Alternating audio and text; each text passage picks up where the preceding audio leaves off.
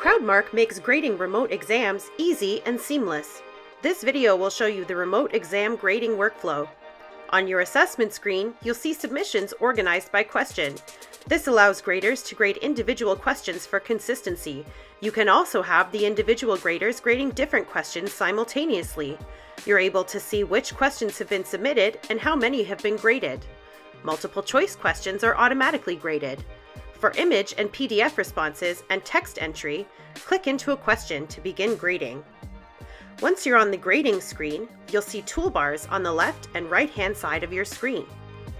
On an image PDF response, you can use the pencil to hand draw, place checks, X's, or question marks, select an area to highlight, or change the color of your entry by clicking on the droplet icon. Use the garbage can icon to delete anything you've placed on the page. Leave comments in your students' work by clicking on the speech bubble icon.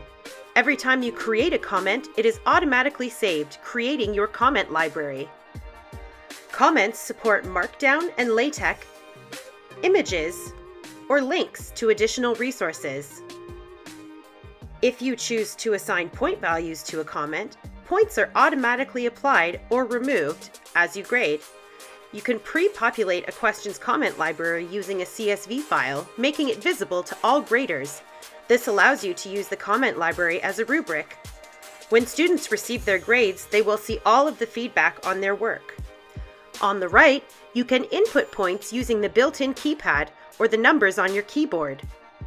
You can tag evaluations and filter assessments by question, team member, tag, or point value. These tools help you get an overview of your grading and can be a great way to keep track of trends. You can use the keyboard shortcuts to move through more quickly.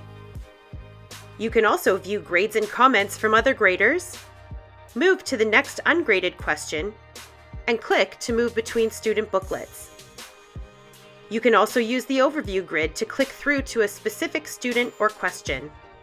Scroll up or down to move through the assessment you're currently working on, and click on the question labels to grade specific questions. When grading a text entry question, your grading tools are designed for text. Use the cursor to select a block to be highlighted, or to strike out. Each of these options allows you to attach a comment. Click the icon with the comment symbol to minimize the boxes as you work. Text responses also include the option for students to place links or downloadable files within their responses.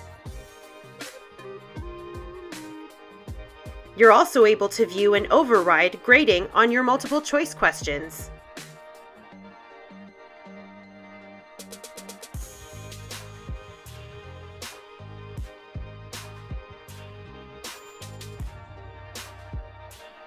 Click the name of your assessment to exit the grading screen, then click on the Results tab to see student grades.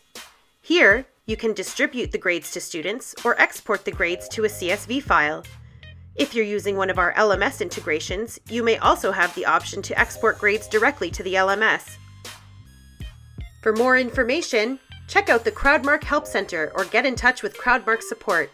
We're always happy to hear from you. Thanks for watching!